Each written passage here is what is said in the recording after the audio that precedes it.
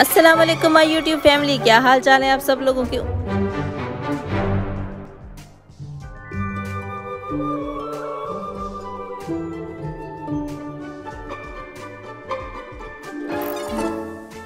कैसे हैं आप सब लोग? उम्मीद करती हूँ बिल्कुल ठीक ठाक होंगे।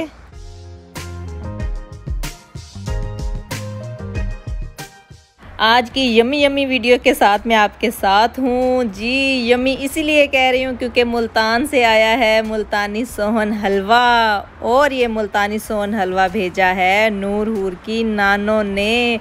इन्होंने फरमाइश करके जो है वो मंगवाया था मुल्तानी सोहन हलवा भी।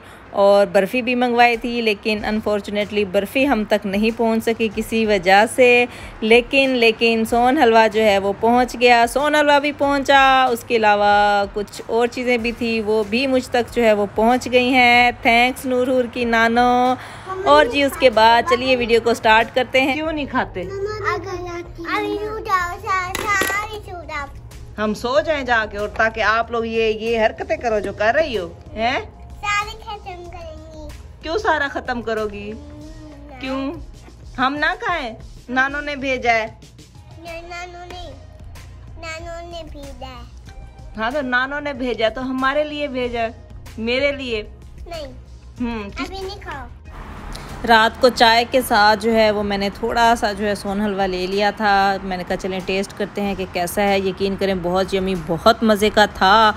लेकिन हम लोग सो गए और नूर नूर को पता था कि सोन हलवा जो है वो आया हुआ है। सुबह सुबह ये उठते साथ ही किचन में घुसी और सोन हलवा उठाया और ड्राइंग रूम में ले आई और छुप के खा रही थी और मैंने मारा अचानक छापा और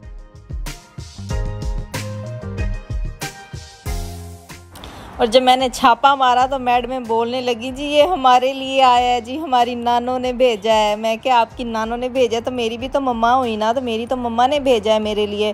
तो कहने लगी, नहीं नहीं, मम्मा, नहीं, आपके लिए नहीं आया, ये हमारे लिए आया है। तो माशाल्लाह इतनी ये क्यूट क्यूट सी बातें करना स्टार्ट हो गई। मुझे कहती, जाए जाए, आप जाके सो जाएँ, आप भी सो जाओ, बाबा भी सो जाएँ। भी आप दोनों सो जाओगे तो हम लोग जो है वो आराम से और मज़े से बैठ कर जो है ये सोन हलवा इंजॉय करेंगी। तो ये तो आजकल के बच्चों के हाल हैं। कहते हैं कि मम्मी, बाबा सो जाएँ और हम अपनी मर्ज़ी से जो करना चाहें, वो करें, जो खाना चाहें, वो खाएँ। खाना इनको दे दो, वो कभी भी नहीं खाएँगी। रोटी इनको ज़बरदस्ती मैं खिलाती हूँ, पराठा बनाती हूँ, इनके लिए रोज़ाना कि चलो, देसी घी का मक्खन का पराठा हो, बच्चे खाते हैं, हड्डियाँ मज़बूत होती हैं, बच्चे सेहतमंद होते हैं, मजाल है जो ये खा लें। हाँ जब सोन हलवा आता है तो फिर माशाल्लाह से ये मैडमें आराम से बैठ के खा लेती हैं। लेकिन मीठा इतना भी बच्चों के लिए अच्छा नहीं होता है थोड़ा सा खाना चाहिए, मैं इसलिए इनको डांटती रहती हूँ कि मीठी चीज़ें जो है वो ज़्यादा आप लोग ना खाया करो।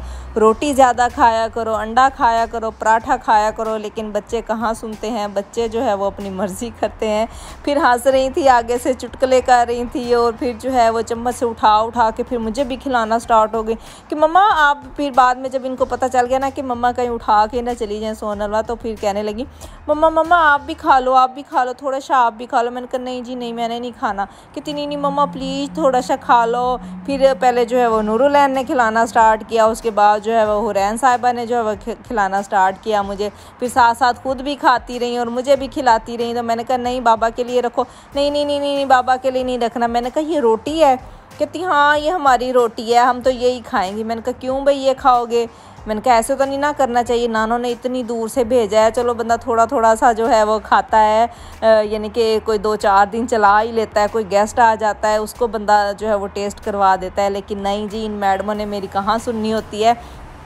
लेकिन हाँ पहले जब हमारे लिए सोन हलवा आता था ना तो यकीन करें, ख़त्म ही नहीं होता था। फ्रिज में पड़ा रहता था। काफ़ी दिन पंद्रह दिन, बीस दिन जो है वो पड़ा रहता था। मैं थोड़ा थोड़ा सा जो है वो एक पीस निकालती थी चाय के साथ। वही हम दोनों जो है स्नैन में थोड़ा थोड़ा सा जो है वो टेस्ट कर लेते होते थे। लेकिन खैर से जब से ये आई हैं तो माशाल्लाह से माशाल्लाह से खिला देती हूँ मैं इनको और ये खा लेती हैं। अब जो है वो हमारा सोन हलवा ज़्यादा देर फ्रिज में नहीं पड़ा रहता।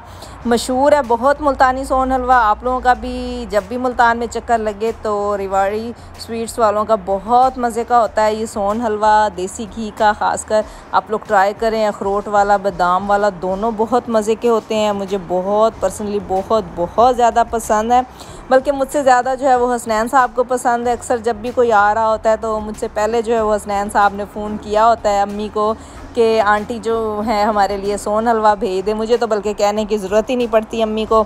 तो मेरे कहे बगैर ही सोन हलवा जो है वो मुझ तक पहुँच जाता है। क्योंकि हसनैन साहब को पता होता है कि पाकिस्तान से आ, कौन सा कज़न जो है वो आ रहा है या कौन सी फैमिली आ रही है।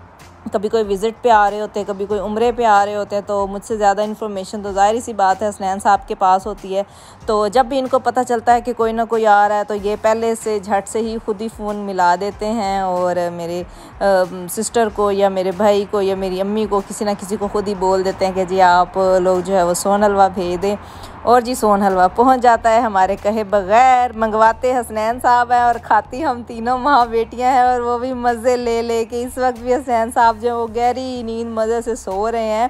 और हम तीनों माँ बेटियाँ जो है वो बैठी सोन हलवा जो है वो इंजॉय कर रही हैं और बहुत खुश हो रही हैं मैडमें मेरी दोनों जो मैडमें हैं, मैं इनको मैडमें अक्सर बुलाया करती हूँ नूर उर को। तो ये दोनों बड़ी खुश हो रही हैं कि जी अब बाबा सो रहे हैं तो अब हम आराम से बैठ के जो है वो खा रही हैं कि कहीं बाबा हमें मना ही ना कर दें कि जी ज़्यादा मीठा नहीं खाना या जो है ज़्यादा सोन हलवा नहीं खाना। लेकिन फिर भी मैं इनको थोड़ा सा जो है वो लिमिट में जो है वो खाने के लिए देती हूँ। कहती हूँ कि ज़्यादा मीठा मत खाया करो, मना करती रहती हूँ और शुक्र है ये मेरी बात फिर मान भी जाती हैं, थोड़ा सा खाती हैं, फिर रख देती हैं।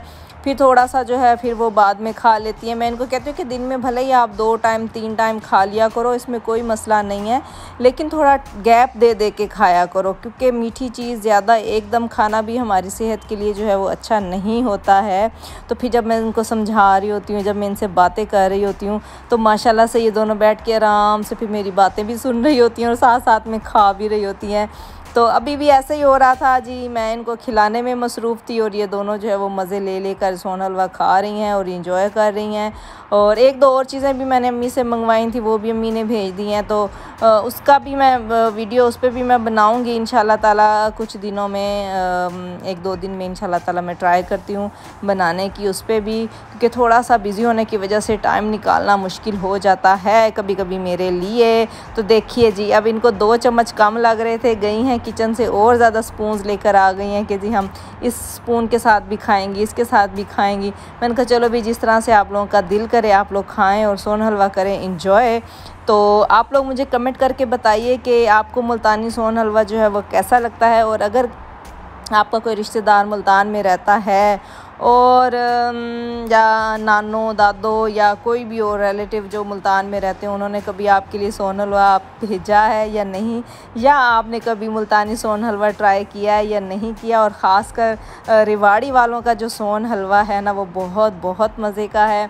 और मुझे तो ज़्यादा, सबसे ज़्यादा पसंद है जो हुसैन गई में जो जिनकी शॉप है ना ये रिवाड़ी वालों की, वहाँ का जो है वो बहुत मज़े का होता है। देसी घी का जो सोन हलवा होता है और मैं अक्सर जो है वहीं से मंगवाती हूँ अपने भाई को भेज कर तो वहीं से मेरे लिए जो है वो मुल्तानी सोन हलवा आता है और बहुत बहुत टेस्टी होता है। सोन हलवे के अलावा उनकी और भी बहुत ज़्यादा वैरायटी है मिठाइयों की। और यकीन करें, वो सारी मिठाइयाँ जो है, वो सब कुछ जो है, बहुत बहुत मज़े का होता है।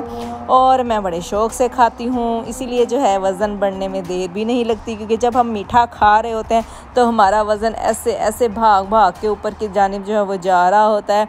तो खैर, ये तो होता ही है, जब हम मीठा ज़्यादा खा रहे होते हैं तो हमारा वज़न जो है, वो बहुत जल्दी गेन हो जाता है। वज़न को मेंटेन रखने के लिए आप पता है क्या किया करें? आप छोटा सा जो है, वो पीस लिया कीजिए मीठे का तो फिर आप जो है, वो इंजॉय कीजिए चाय के साथ, और वो भी अदरक वाली चाय। जब आप अदरक वाली चाय पी रहे होते हैं साथ में तो मीठा जो है, वो आपको ज़्यादा नुकसान नहीं दे रहा होता।